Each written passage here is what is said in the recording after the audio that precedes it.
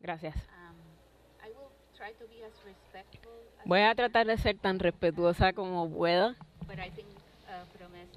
pero creo que promesa se debe revocar y que la Junta de Control Fiscal no debería existir. Yo he estado escuchando todo lo que ustedes han estado diciendo y me pregunto quién les ha estado dando recomendaciones a ustedes y quién les ha estado asesorando a ustedes. Sabemos, por supuesto, que hay compañías como McKinsey y otras que lo han estado haciendo, pero a mí me gustaría solicitar formalmente la lista de todas las personas y organizaciones que han tenido reuniones con la Junta y o con cualquier miembro, incluyendo sus directores ejecutivos. Yo no sé cuál es el plan de ustedes para Puerto Rico, pero creo que los puertorriqueños tienen su propio plan be de cómo esto se debe desarrollar y de cuáles son nuestros objetivos en la vida y como país. Pero yo tengo varias preocupaciones. Primero, nos preocupa mucho eh, el plan de retiro para la Autoridad de Energía Eléctrica y sus empleados. Pero también nos preocupa mucho eh, que la Junta de Control Fiscal tenga esta obsesión con el asunto de los permisos, específicamente con el reglamento conjunto de 2022 the, uh, requirements y los requisitos que los municipios tienen en su plan de ordenamiento territorial y la facilidad de los permisos. Por eso es que yo necesito saber con quién ustedes se han estado reuniendo. Y tengo una pregunta específica sobre el proyecto 1076, AC 1071, 1671 55 1069. 69.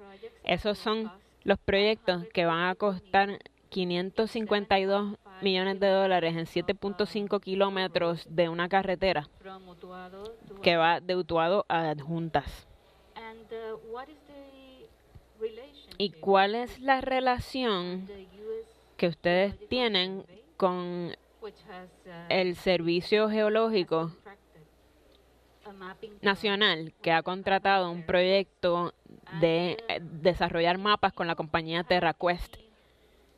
Y si ustedes han tenido alguna conversación sobre restablecer los proyectos de la zona de depósitos de minería en Puerto Rico, porque esta compañía TerraQuest ha estado haciendo mapas buscando minerales raros y esto está bien relacionado con los automóviles eléctricos, con la energía solar y esas nuevas tecnologías. Así que a mí me gustaría que ustedes comentaran en cuanto a eso y estoy haciendo una solicitud formal para que la Junta de Control Fiscal reconozca que la Universidad de Puerto Rico necesita tener el apoyo del gobierno con ese 9.6% de los recaudos del gobierno para que nosotros podamos movernos hacia adelante.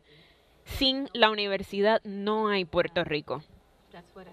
Y eso es lo que tengo que decir. Gracias. Muchísimas gracias, representante de Nogales. Yo voy a comenzar diciendo que to you. vamos a contestarle muchas de estas cosas luego. Voy a hacer algunos comentarios y puede que otros más hagan comentarios, pero va- vamos a hacer una respuesta más formal eh, sobre algunas de las solicitudes que usted ha hecho sobre con quién nos hemos reunido y todo eso. Pero voy a ofrecer algunas palabras breves y, que- y ver si otros quisieran añadir. Número uno, entiendo eh, que usted le disguste la junta de supervisión y estoy consciente de que su percepción es compartida por muchas personas.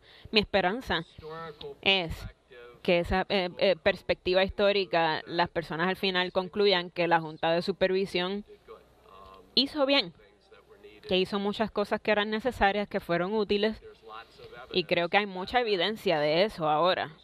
Hemos reestructurado la deuda, hemos hecho inversiones en varias cosas. Esta reunión se trató de muchos de esos desarrollos emocionantes que están eh, llevándose a cabo en esas líneas. Y nuestro enfoque hacia el futuro, pero ciertamente aprecio eh, que a usted no le guste la Junta y sus razones. Es una intrusión. No, eso, eso no se puede negar. En cuanto a las pensiones, lo que yo diría es que hay que mirar la evidencia de lo que ocurrió con el Estado Libre Asociado. Tuvimos mucho cuidado de poner el sistema de pensiones en una base sostenible para que las personas puedan realmente recibir los beneficios que se les prometieron. Ese dinero se va a apartar cada año, no como... Y, y- y eso no se había hecho. Eh, los fondos, el fondo estaba defalcado por we're taking those unos 50 millones y la gente no ha perdido el dinero. Así que estamos tomando esas preocupaciones, esas prioridades y la estamos aplicando también a la reestructuración de la Autoridad de Energía Eléctrica. En cuanto a los municipios, hablamos mucho de eso hoy. Estamos abiertos a ayudar a los municipios. Lo que estamos pidiendo es que los municipios hagan reformas por su parte también, que arreglen algunas cosas que, que por mucho tiempo se han tenido que arreglar y continuaremos hablando sobre eso. En cuanto a los proyectos a los que usted hizo referencia, no puedo hablar sobre ellos personalmente, no sé si otros miembros puedan hacerlo, pero ciertamente podemos darle una respuesta luego, así como el tema de la UPR. Y sé que Antonio quería hacer algunos comentarios. Sí, voy a hablar en español. Creo que es un- un- una cuestión importante. Primero que nada, yo quiero establecerlo bien claro. Yo soy boricua.